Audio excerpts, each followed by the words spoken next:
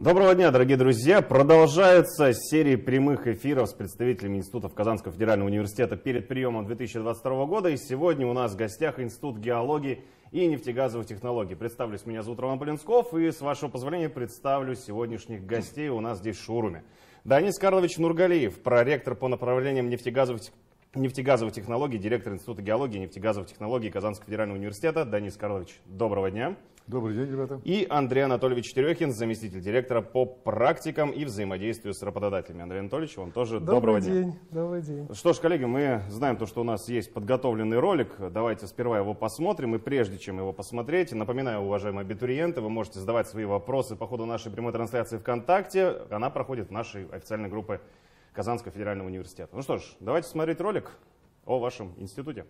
Институт геологии и нефтегазовых технологий восхищает своей богатой историей. Обучение геологическим наукам началось практически сразу же после образования самого университета. За два столетия в Альма-Матер сформировалась и получила всемирное признание Казанская школа геологов, а после, продолжая современную историю вуза, Геофак расширил свои границы и заявил о себе как Институт геологии и нефтегазовых технологий. Данное преобразование состоялось с 5 мая 2011 года. Уже сегодня в арсенале арсенале сотрудников института имеются передовые технологии, мощное научное оборудование, образовательные программы, учитывающие давние традиции геологического образования. Нефтяные компании – основные игроки на биржевых торгах. Цену на этот важнейший ресурс определяет общее состояние рынка. Неудивительно, что работа в нефтедобыче и нефтеразработке – одна из самых престижных и стратегически значимых в современной России. Но кто они, современные геологи? Специалисты по геологии? Главные по строению земной коры? Так говорит словарь тварь. А что говорит о себе сама профессия? Сегодня не нужно умываться нефтью, чтобы стать геологом. А что нужно?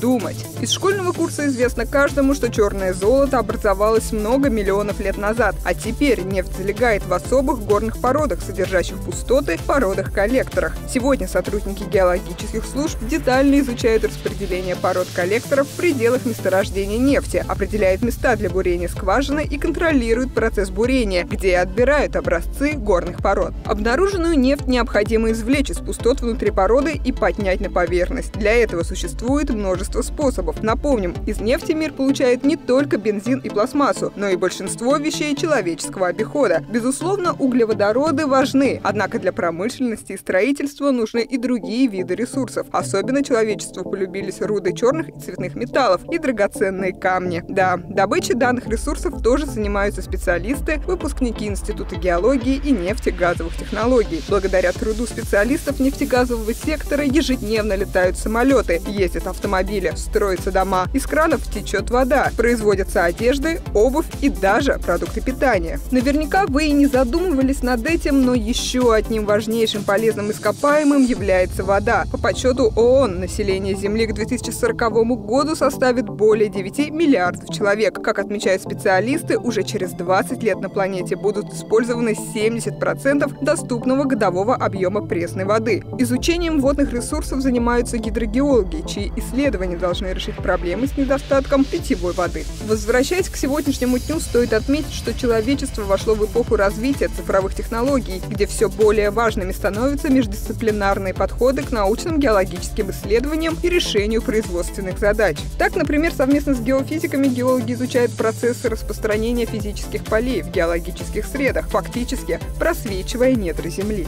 Каждое месторождение, как и человек, имеет этапы своей жизни. Нефтяники называют их открытие, разведка, разработка и эксплуатация. И теперь, когда значительно расширилось географическое расположение месторождений нефти и газа, когда плавучие буровые установки появились в акватории целого ряда морей, стране и миру крайне необходимы соответствующие специалисты. Переходя от слов к делу, студенты получают навыки на первой геологической практике, которую проходят все профили обучения. Будущие специалисты учатся правильно описывать геологические геологические разрезы и проходящие процессы. Безусловно, речь идет не только о дневных учебных маршрутах. А вот производственную практику студенты проходят в крупных геологических и нефтегазовых компаниях. Для распределения студентов институт проводит не только ярмарки вакансий, но и различные мероприятия совместно с партнерами. Не менее интересны условия работы для начала карьеры молодого ученого. В институте функционируют несколько научных сообществ, студия геоинформационных систем, технологий и еще многое другое.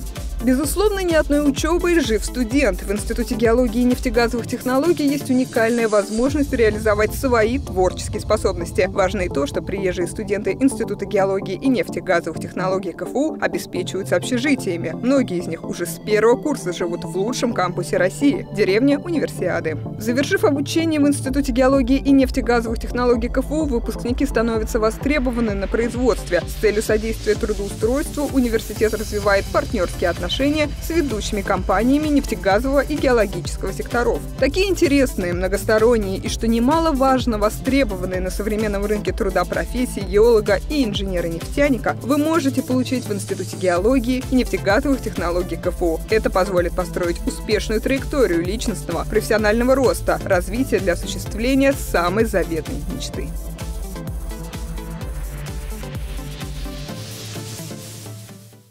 Что ж, дамы и господа, ролик мы с вами посмотрели, и давайте перейдем к вопросам, которые у нас есть, уже заготовленные из нашей группы ВКонтакте. Первый вопрос. Сколько в вашем институте бюджетных мест на бакалавриате и на каких направлениях?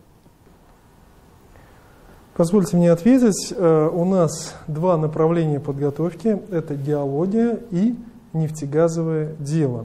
На направлении подготовки диалогии есть еще профилизация. Это мы готовим э, диафизиков, профиль, э, диалогия нефти и газа, профиль, диалогия и инженерная диалогия и, собственно говоря, классическая диалогия. Ну, вот полевой диалог, который у нас ходит маршруты, как раз с рюкзаком, вот о чем мы сейчас говорим в начале.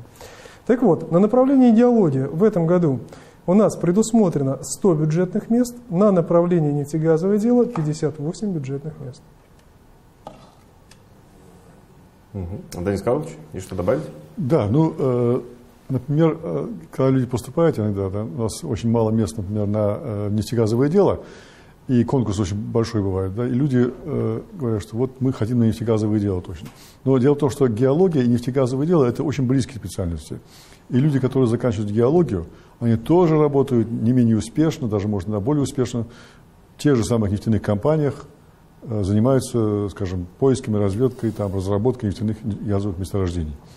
Например, специальность, профиль геологии, э, геологии нефти и газа, он вообще очень близок к нефтегазовому делу. Нефтегазовое дело – это инженерный специальный человек, который инженер э, создает вот, технологии разработки, осваивает, значит, использует технологии разработки нефтегазовых месторождений. А геолог-нефтяник, он готовит материалы геологические для того, чтобы эффективно это все делать. То есть он занимается больше научными исследованиями такими, да, то есть изучает там э, резервуары под микроскопом, значит, электронным микроскопом, какими-то приборами и так далее. То есть все эти специальности, они достаточно близкие. То есть, если, скажем, вы не можете поступить на, или хотели поступить на нефтегазовое дело, но не можете, не надо плакать и кричать, там, рвать на себе волосы, да, нужно просто идти немножко на другую специальность, а потом, э, более того, потом по окончании бакалавриата вы можете поступить в магистратуру ту, которую вы хотите. Тем более, что магистр, магистрские программы у нас очень обширные программы магистрские, вот, э, среди которых очень много таких, которые позволяют потом работать успешно в нефтегазовой компании. Хорошо. Следующий вопрос. Изменится ли стоимость платного обучения в этом году? Стоимость контрактного платного обучения в этом году уже утверждена, и она по прошлому году такая же у нас практически осталась. Это на разные программы, она немножечко разная. Это все-таки цифры, поэтому позвольте мне, если сразу отвечать предметно, то и сказать, какая у нас э, стоимость обучения.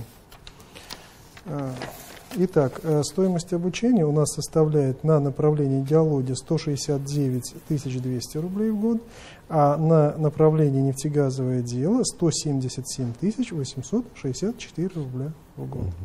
В сравнении с другими вузами Российской Федерации наша стоимость обучения, на ваш взгляд? она вполне конкурентоспособна, э, и в принципе это ниже, чем вузы в Москве и в Санкт-Петербурге.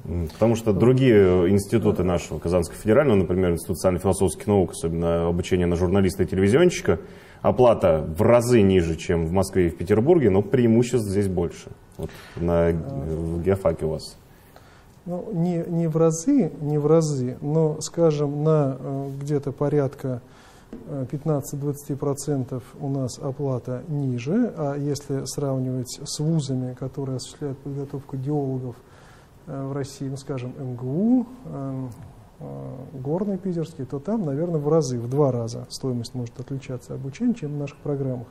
Ну, ребята, я хочу отметить, э, дело в том, что э, в Казанском федеральном университете, в Институте геологии и нефтегазовых технологий, очень обширная и э, продвинутая лабораторная техническая база. У нас созданы такие же учебно-научные лаборатории, как и в ведущих нефтегазовых вузах нашей страны. И мы это вам показываем на днях открытых дверей, организуя экскурсии и, собственно, не только об этом рассказывая, но еще организуя вот такие показы.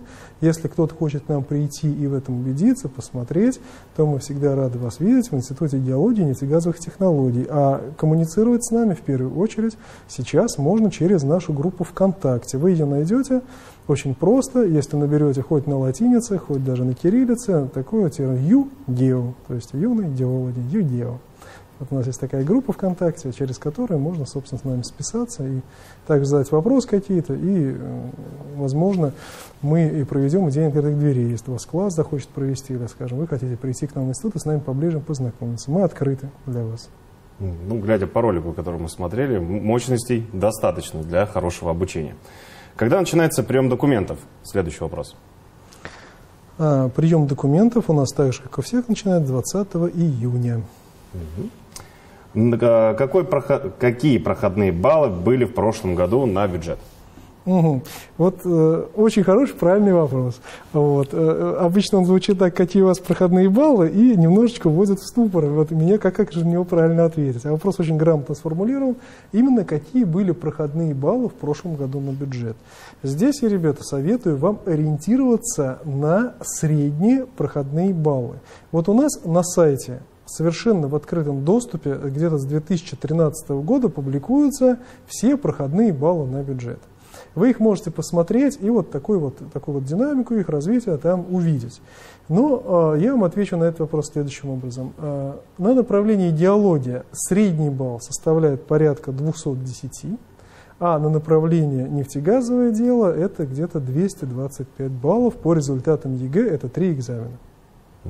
Вот, это вот средний балл, на который надо ориентироваться по нашему вот этому сезону приемной кампании многие отвечают, то, что, ребят, не смотрите на проходной балл, старайтесь просто сдать ЕГЭ все на 100, тогда перед вами все двери открываются. Правильно говорим, нет? Правильно, абсолютно. Конечно. А, поехали дальше по вопросам. А, на какое направление самый большой конкурс? Ну, конечно, я уже говорил, вот на направлении нефтегазовое дело конкурс самый большой. Наверное, связано с тем, что вот это нефтегазовое дело, нефть прямо, прям, прям, прям нефть чуть не льется уже из этого названия, да, поэтому, наверное, люди идут сюда. Я, я уже повторил, что на самом деле, конечно, работать нефтегазовой компании можно и закончив любое другое направление геологии в том числе. Вот. И, ну, в области геологии, вот по профилям геологии, тут э, от года в год, из года в год это меняется. Ну, в принципе, примерно одинаковый конкурс там. Вот. Э, некоторые годы у нас гидрогеология превалирует, некоторые годы в геофизику люди идут, да, как-то. Ну, в общем, тут примерно одинаково. То есть тут надо просто выбирать уже более подробно, куда вы хотите учиться. Конечно, желательно поступить туда, куда вы изначально хотели. И, конечно, вот когда вы будете сдавать документы, вы должны, во-первых, конечно, поставить самую главную фишку вот туда, вот, вот куда вы действительно хотите поступить. То есть кому-то это геофизика, то есть это вот, что такое геофизика? Я сам геофизик. Я поступал на геофизику. Почему? Потому что геофизика – это физика на свежем воздухе. Вот люди, которые любят путешествовать, люди, которые любят физику, математику, пожалуйста, поступайте туда. Это очень хорошая работа, особенно девочки, например. Да, девочки у нас поступают туда и на компьютерах сидят, и все, так сказать, решают задачи, все эти а, интерпретацию проводят, каротажных данных, сейсмических данных, в очень красивых офисах, и при этом участвуют вот в открытии месторождений и так далее, и так далее. Получают такую же большую зарплату и премию. Вот. Ну, на самом деле, цифровизация сегодня, вот э, компьютер, это сегодня везде. Это в любом направлении, любой специальности, это у нас э, работает, потому что у нас факультет, в общем, такой уже цифровизованный, что факультет у нас большой объем э, преподавания дисциплин, которые связаны с цифровизацией, значит, компьютерными технологиями. Вот это, естественно, конечно, сегодня это важно для всех, наверное. Да, сегодня нет такой специальности, у которой не было наверное, цифровизации, такой компьютерной, такой компьютерной технологии не было бы. Вот. Поэтому сказать, где конкурс большой. Ну вот конкурс реально он большой на нефтегазовом деле. Ну, в остальных тоже. Там ну, 10 ну, баллов, скажем, грубо говоря, отличие, 10-15 баллов отличие. Вот. И, э, конечно, нужно подавать наверное, документы и туда, и сюда, и как-то вот ориентироваться, но желательно, конечно, поступать туда, куда вы хотите. Вот, примерно так. Хорошо, а, поехали дальше. А, чтобы поступить на геологию, нужно сдавать базовую математику или профильную? Конечно же, профильную математику. Угу. Да, базовая математика это, скажем так, она почти никуда не принимается, кроме гуманитарных особенных направлений. Конечно же, на в вузы естественно-научного профиля к нам на геологии нужно сдавать профильную математику. Угу. Что, следующий вопрос у нас прилетает из группы ВКонтакте, когда начинаются экзамены для иностранцев?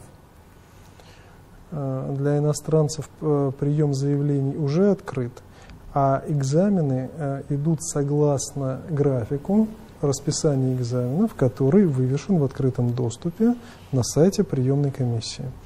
Вот. Если это какой-то конкретный вопрос, то это опять-таки можно написать вот нашу группу ВКонтакте, вот, и мы уже ответим конкретно на какой профиль, где, как это будет проходить экзамен. То есть в индивидуальном порядке мы ответим на этот вопрос, а в целом экзамены, график экзаменов для иностранных граждан размещен на сайте приемной комиссии.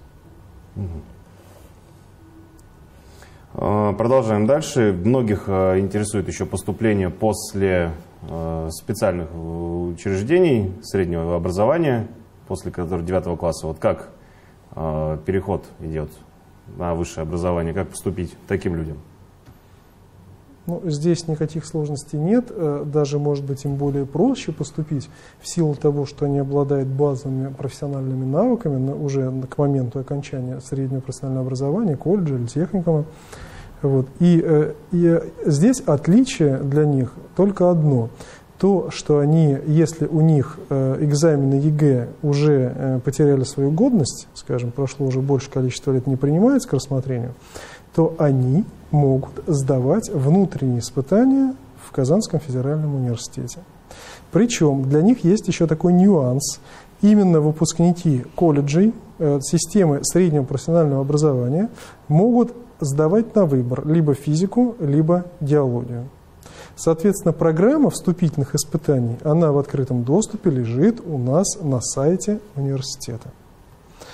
И здесь есть еще в некотором такое эксклюзивное объявление. В этом году у нас впервые открыт прием на э, заочное направление. И это заочное направление ориентировано в первую очередь для выпускников колледжей. Там дополнительно у нас открывается 25, правда, внебюджетных мест. Угу. А, идем дальше. Следующий вопрос тоже из группы ВКонтакте. Слышал, что началась регистрация и онлайн-тесты на поступление в Казанский федеральный университет на бюджет для иностранцев. А как я могу зарегистрироваться, чтобы сдать экзамены? Э, чтобы зарегистрироваться и сдать экзамены, э, иностранным гражданам нужно также э, пройти регистрацию на платформе abiturientkfu.ru, завести свой личный кабинет, и у вас, вот, согласно графику э, этих экзаменов, появится доступ э, ко всей информации, касающейся вот, экзаменов, которые проходят в КФУ. Э, если это же достаточно общий ответ, если нужно э, ответить конкретно, на какое направление, ну, мы можем, естественно, э, ответить, если это касается направления геологии или нефтегазового дела, то опять-таки можно написать к нам вот в, через нашу группу ВКонтакте и задать вот вопрос касаемо вот уже частной этой ситуации. Предусмотрено либо, ли... извините, а, я да, дополню, да, да, да. либо, конечно же, э, обратиться в приемную комиссию. У нас есть отдел по работе, э, целое управление по работе с иностранными гражданами, и, соответственно, можно также обратиться туда за комментариями. Угу. Так, теперь по следующему вопросу, да, идем? Денис Карлович, есть что добавить? Да нет, нет, нормально все, да. Угу. Тогда следующий вопрос. Предусмотрено ли по профилю геология получить второе высшее образование? Какие нужно будет документы, экзамены, какая плата? А, можно я входное слово скажу? Да, да. да. Здесь есть э, несколько вариантов, как получить второе высшее образование, если осваивать профиль диалогия. Во-первых, окончить э, бакалавриат по направлению идеология и поступить в магистратуру по другому профилю. Это первая возможность. Вторая возможность – это, ну, она тоже очевидна, наверное, закончить один бакалавриат, потом закончить другой. Это неэффективно по времени никоим образом. Либо у нас э, в институте функционирует очень мощный центр дополнительного образования, и обучаясь по направлению геология, да и по любому другому направлению, вы можете пройти программу переподготовки, либо программу дополнительно к высшему образованию, и на выходе получите два диплома. Один диплом бакалавра по выбранному вами профилю, а второй диплом дополнительно к высшему образованию на ведение Э, профессиональной деятельности в области, скажем, на которой вы учитесь. Ну, для примера, вы обучаетесь по профилю геология и э, проходите э, обучение в центре образования, на, скажем, по профилю э, геофизика или по профилю, скажем, нефтегазовое дело.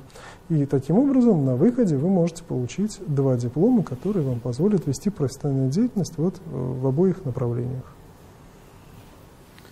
Да, тут есть вот ребята у нас э, заочно вот это образование получают и получают дополнительный диплом.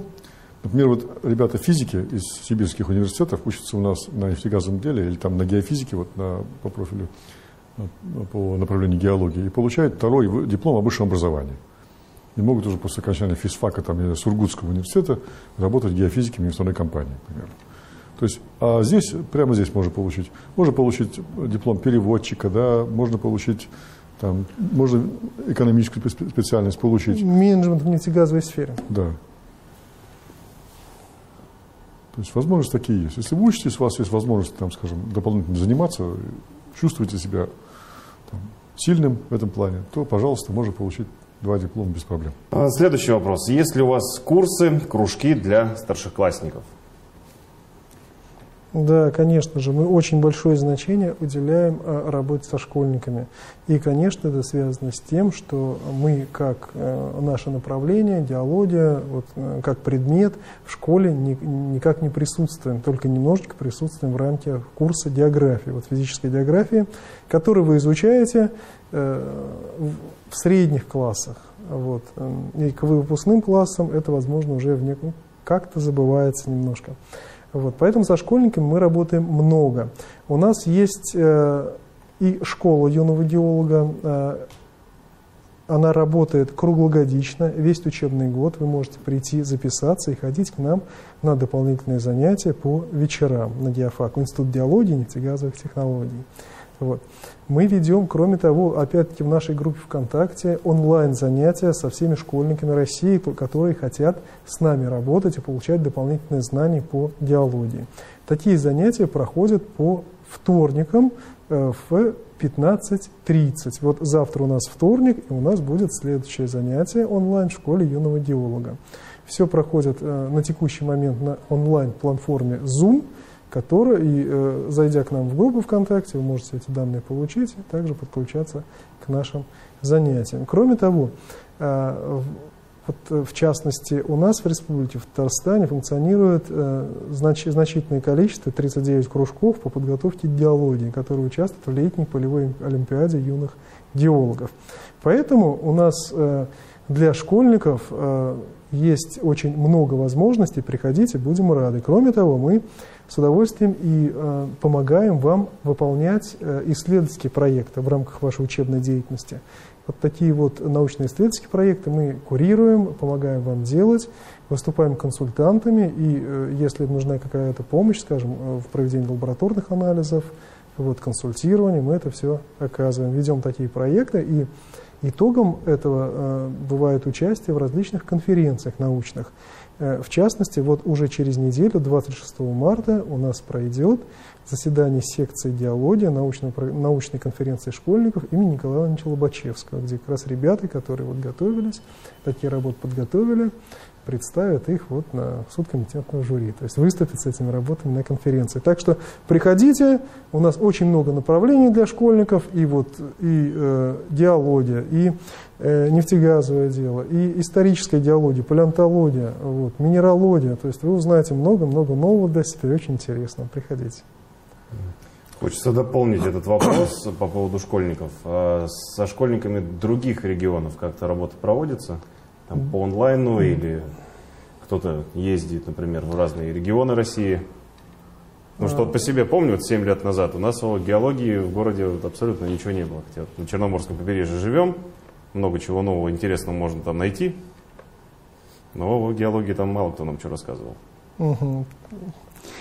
Да, конечно. Вот я еще раз замечу, что мы, понимая, что круг интересов школьников э, казанскими школьниками только не заканчивается. У казанских школьников есть хорошая возможность к нам прийти и вот точно с нами заниматься, что-то обсуждать, участвовать в каких-то проектах, активности различные организовывать.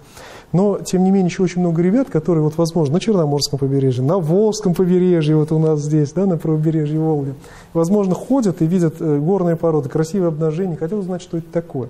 Конечно же, вот э, в Zoom завтра, по вторникам, ближайший вторник завтра, вы можете подключиться и э, также э, участвовать в наших занятиях. Это, это вот такая возможность для иногородних школьников, и не только Республики Татарстан, а всей Российской Федерации. Но, в принципе, всех, кто подключается, вот русскоязычных школьников, которые вот эту информацию могут воспринять. Вот, то есть самая-самая-самая широкая аудитория. Ну, благо такой, такая возможность есть. А, давайте дальше по вопросам. С какого курса у студентов начинается практика и где они ее проходят? Ну, студенты проходят учебную практику у нас. После первого-второго курса они проходят учебную практику, но, в принципе, после второго курса и после третьего курса они уже могут ехать на производственную практику. Это бакалавриат имеется в виду, да?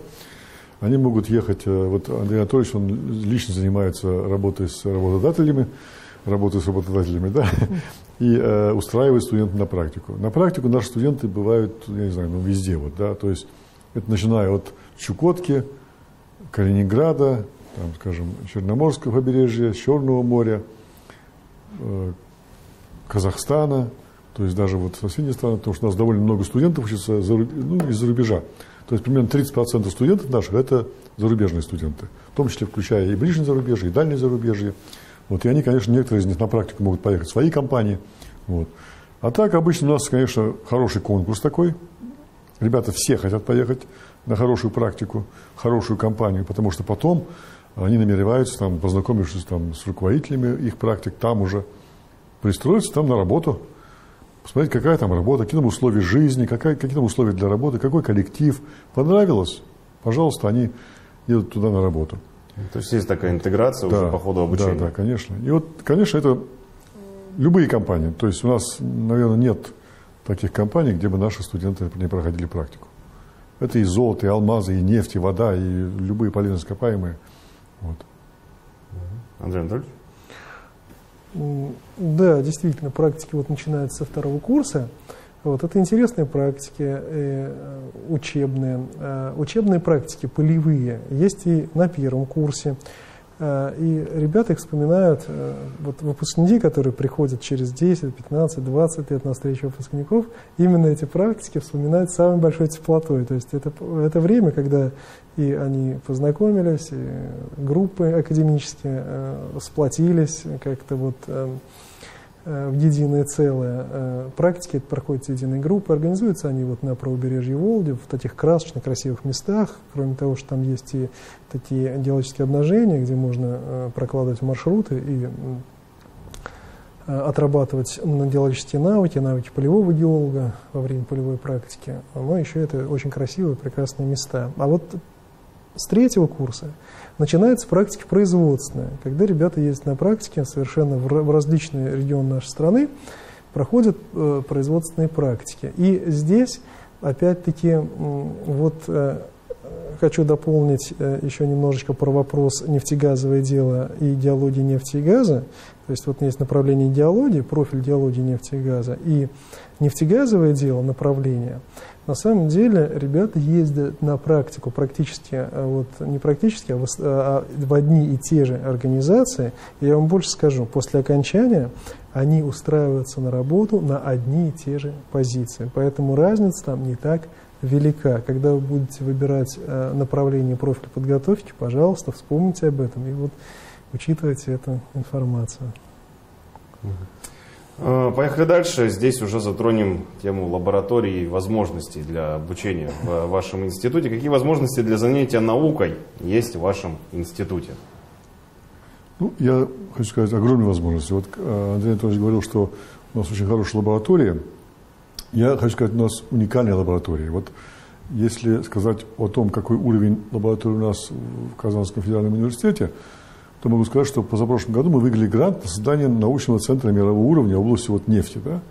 Таких центров в России 10 по разным направлениям, значит, начиная от медицины, там, э, гуманитарных направлений, там, свежезвук, значит, другие важные по биологии, по сельскому хозяйству. А вот по нефти, значит, вот этот центр, научный центр мирового уровня находится в Казанском федеральном университете, в Институте геологии и нефтегазовых технологий.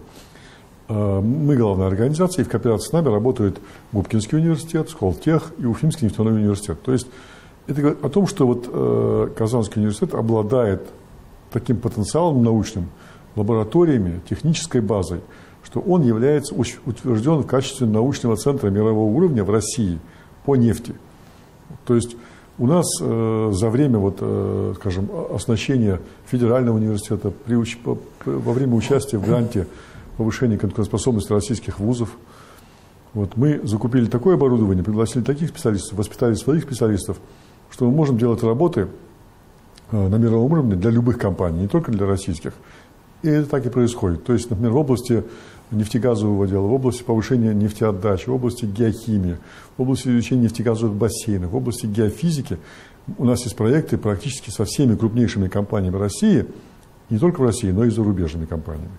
То есть это китайские компании, Южная Америка, это и арабский мир, арабские компании. То есть и наши студенты, желающие, кто хочет заниматься, они все вовлечены в научную деятельность. То есть у нас очень много проектов, где э, магистры участвуют просто как инженеры, как лаборанты, участвуют в выполнении этих проектов. Практически большинство магистров, которые работают, ну, второго года магистра, они вовлечены в научные исследования. Ну, я про аспирантов не говорю, потому что аспиранты, кстати, аспирантов у нас около 100 человек значит, в институте, они все занимаются научными исследованиями по разным направлениям, по проектах, при этом получают зарплату как бы, и работают вот Э, в пользу вот, нефтяных компаний э, или, скажем, какие-то государственные гранты. Вот. У нас очень много, порядка там 300 таких проектов, которые мы ежегодно выполняем. Это проекты, связанные, государственные проекты, скажем, центра мирового уровня. Это проекты Российского научного фонда, э, других государственных фондов. И, конечно, очень много проектов, которые мы делаем с конкретными компаниями. Говоря о компаниях, у нас заключительные вопросы, возможно, придется повторить, потому что ротация эфира у нас довольно-таки большая, зрители то уходят, то приходят. Объединю сразу все в э, одну такую группу. А, первое, это сотрудничаете ли вы с работодателями напрямую? Второе, проходят ли у вас э, дни карьеры? И третье, где работают ваши выпускники? Э, да, конечно же. Напрямую мы работаем с ведущими работодателями России по, э, наше, по нашему направлению. В частности, если говорить о нефтегазовом деле, э, диалоге нефти и газа, мы работаем с компаниями Роснефть, э, Газпромнефть, Лукойл, Сургутнефтегаз, вот Татнефть, э, вот с такими крупнейшими компаниями России мы работаем по распределению на практику и трудоустройству наших выпускников. Как происходит взаимодействие? Конечно же, самое лучшее, самый лучший вид взаимодействия – это когда представитель работодателя на нашей площадке общается с нашими студентами. Вот этому мы отдаем приоритет. У нас регулярно проходят дни карьеры и э, Сургутнефтегаза, и э, Татнефти, Роснефти, Газпром нефти. Вот э, буквально у нас э, такое мероприятие с студентами было в прошлую пятницу, 18 марта. Только что наши ребята прошли отбор на перспективный проект «Газпром нефти». Вот. С крупными компаниями, вот Татнефть, Сургутнефтегаз, Роснефть у нас проходят большие дни Э, карьеры, которые не только сводятся к тому, что приезжает представитель работодателя и э, отвечает на вопрос студент, сидят за круглым столом, вот, но это такие технологические дни, когда приезжают еще специалисты, читаются лекции, проводятся мастер-классы, вот такое интерактивное общение между студентами, когда студенты могут понять, э, что из себя представляет компания, а компания может оценить и э, профессиональные, ну, и морально-этические качества студентов, будущих своих специалистов вот такой вот взаимодействие, такому взаимодействию мы отдаем приоритет. Если касается э, направления идеология, то мы также э, стараемся сотрудничать с крупными компаниями. Это компания холдинга Росгеология, это Алроса, вот, и э, различные экспедиции, такие вот есть структуры, это геологические экспедиции в различных районах нашей страны. Ну, допустим, вот Центрально-Кольская геологическая экспедиция.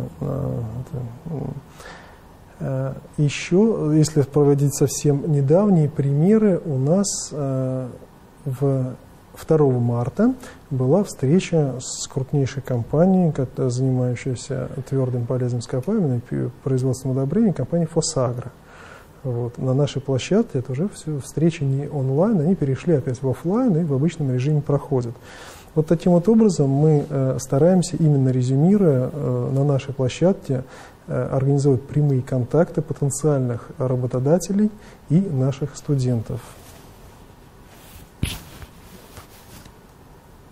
Денис Карлович, есть что добавить? Да, конечно. ну, во-первых, э, с компанией мы работаем не только, скажем, в области подготовки специалистов, да, мы имеем научные проекты с ними, так, мы э, готовим, мы ведем переподготовку, повышение квалификации специалистов. Примерно тысячу представителей разных компаний проходит у нас повышение квалификации ежегодно. Это такие самые передовые области, например, области моделирования, цифровых технологий, моделирования месторождений – Э, новых технологий э, добычи, повышения нефтеотдачи, новых значит, разработок в области геологии, поиска ископа, полезных ископаемых разнообразных. Так? Вот я говорю, примерно тысячу человек из компании проходит обучение. И вот я уже говорил, более 300 проектов в год, ежегодно, мы имеем с разными компаниями.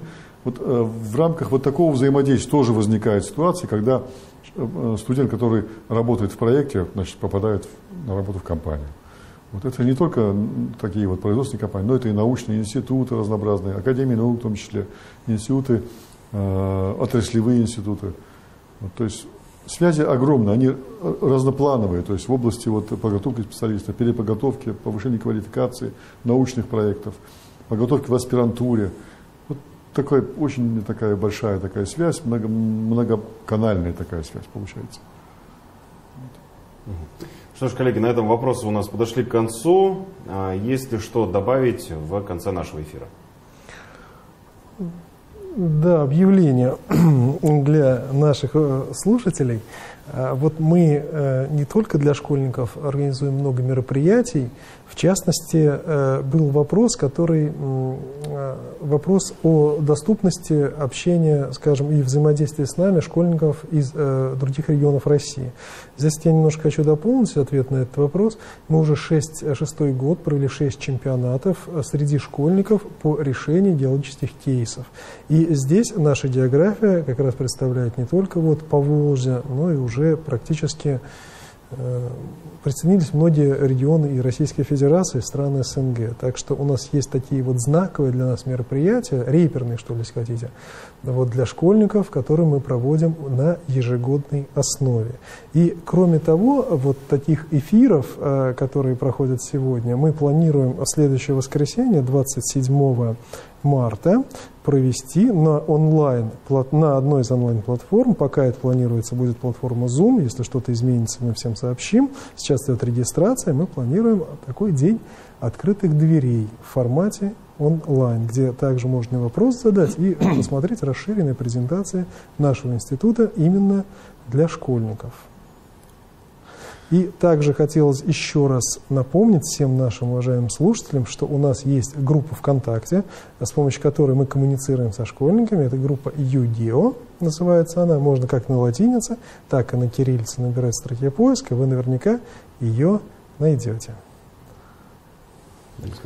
Да, вот я еще раз хочу повторить о том, что э, профессия вот геолога-нефтяника, геолога-геофизика, она очень интересная. Знаете, вот э, если у вас есть такое, знаете, любовь к природе, вы любите путешествовать, да, то это вот как раз для вас, на самом деле. Вот я просто про себя скажу немножко. Я э, поступ, приехал значит, из Башкирии, поступать в Казанский университет, хотел поступить на мехмат, математикой увлекался очень, да. Потом э, ходил, ходил, и понравилась мне физика. Потом я вот уже говорил, увидел, значит, э, геофизика, говорю, что такое? Они говорят, это, говорят, физика на свежем воздухе. Мне это очень понравилось, потому что я всегда мечтал путешествовать в те времена еще путешествия были, в общем-то, невозможны, очень далекие, да, но тем не менее, вот видите, прошли годы, и, в общем, как-то я совершенно э, не жалею, что я поступил на геофак, закончил его, стал геофизиком, Потом я учился и на мехмате, потому что нужно было мне преподавать вот, э, обратно задачи геофизики. Мне нужна была математика, я значит, нашел эти значит, компетенции на мехмате. Вот. Потом я значит, защитил кандидатскую, докторскую диссертацию. И я очень любил путешествовать, люблю путешествовать. Да, я всегда старался значит, посещать интересные места. Это конференции. Я работал в разных городах, в разных странах. Я работал в Германии, значит, э, в Потсдаме, вот там есть большой значит, геологический центр немецкий. И я работал э, достаточно долго в Сюрихе, в Швейцарии, э, в институте, в технологическом университете, в институте геофизики. Я был в поле Южной Америке экспедиции был, да, значит, э, в, в Европе, на, на озерах, вот в Европе, в Венгрии, э, на обнажениях в, Авс, в Австрии, э, был значит, в экспедиции в Австралии. И вот, наконец-то, в прошлом году, вот в ноябре, была моя самая последняя мечта, большая такая мечта, не последняя, конечно, большая мечта, посетить Антарктиду. Я был в Антарктиде, значит, я там решал геологические, геофизические задачи, и для меня это было очень важно, вот, понять самому, увидеть вот, то, что я всегда в детстве хотел, посмотреть, что такое Антарктида и как вот эти вот люди, которые там были, как они там жили. Я это узнал, увидел, почувствовал, что вот то, что я знал, это, оказывается, ерунда. На самом деле это намного сложнее, намного ужаснее. Да? Но это классно, мне понравилось. Я получил гигантский опыт. То есть я хочу сказать, даже вот когда я был студентом, я на практике был э, в Южной Якутии, Алданской, Алдан называли, Якутской Сочи. Это красивейшие места вообще.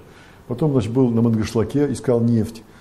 Вот, делал аэромагнитную съемку, путешествовал по этой пустыне. Потом, э, значит, после четвертого курса был на практике в Северной Якутии, искал алмазы. Вот так вот брал эти алмазы, значит, мы добывали их там. Вот, правда, они были все черные, значит, да, был маленький заводик у нас там, алмаз добывал. Вот. То есть даже во время учебы я увидел вот э, всю страну, потом объездил весь мир. Вы знаете, вот это прекрасная профессия. Если вы любите природу, любите путешествовать, вам интересны тайны вот живой природы, тайны Земли, поступайте на Институт геологии, нефтегазовой технологии и выбирайте профессию, работайте, будьте успешны и счастливы. Приглашаю вас. Не бойтесь, поступайте, и все ваши мечты сбудутся. Думаю, тут можно еще добавить то, что поступая в Институт геологии и нефтегазовых технологий, попробуй переплюнуть список стран и континентов, которые посетил Данис Карлович Нургаев. Да, да.